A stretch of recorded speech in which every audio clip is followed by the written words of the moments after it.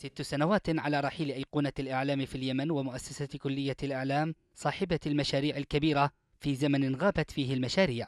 رؤوف حسن أو أمة الرؤوف الشرقي امرأة كثيرة جدا عاشت حياتها ملتصقة بقضايا الناس وعملت في الإذاعة وهي ما زالت في مرحلة الدراسة الإعدادية عندما كانت تقدم برامج الأطفال قبل أن تنتقل للعمل في التلفزيون كمقدمة ومعدة لعدد من أشهر البرامج التلفزيونية الهادفة.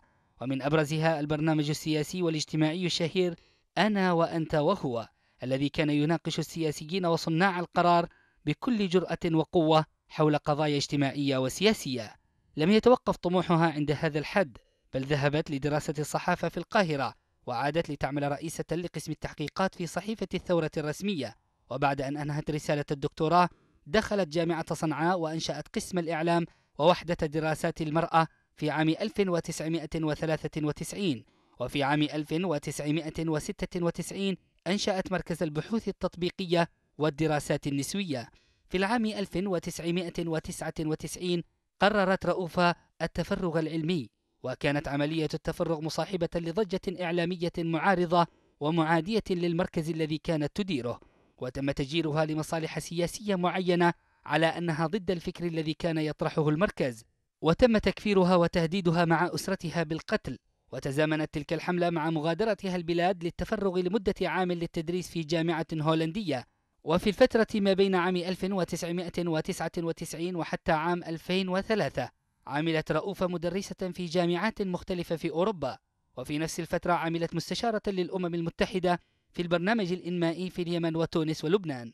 عادت رؤوفة لليمن عام 2004 رغم التهديدات التي كانت تتلقاها وقام بعدها عدد كبير ممن ساهموا في الحملة الظالمة ضدها بالاعتذار لها عندما التقوا بها مبررين حملتهم أنها كانت جزءا من المناخ السياسي المتعصب والمتشنج.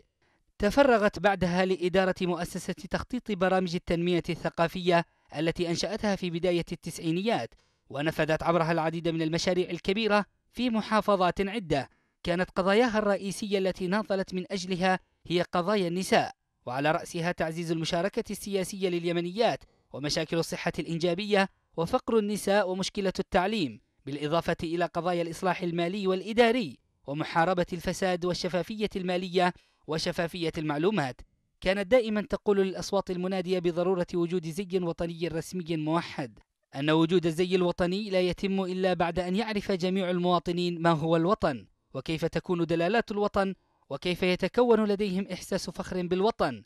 لكن عندما يكون هناك وطن ينفيك أو وطن لا تنتمي له أو وطن يضطهدك بأي شكل من الأشكال فلن تلبس ملابسه. من أمة الرؤوف حسين الشرقي إلى رؤوف حسن